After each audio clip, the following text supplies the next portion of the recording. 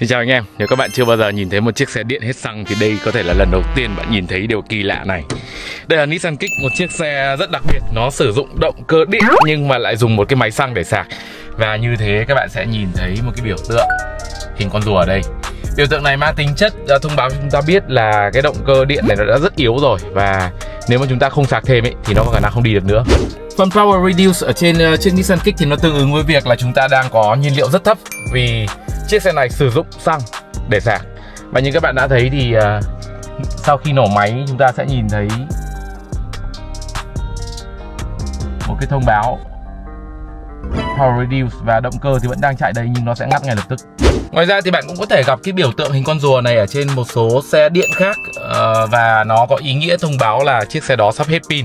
Rất đơn giản như vậy thôi và cuối cùng ở video này chúng tôi sẽ dành thời gian để cho các bạn uh, chiêm ngưỡng một chút về phần nội thất của mẫu xe vừa mới ra mắt này. Nó có cần số rất là đặc biệt và có một vài núm chuyển đặc biệt ở đây nữa. À, Các cái chi tiết nội thất với tôi là tương đối xịn sò và đắt tiền so với cái tầm phân khúc của nó. Hẹn gặp lại anh em ở video đánh giá chi tiết chiếc Nissan Kick tại Gear Up.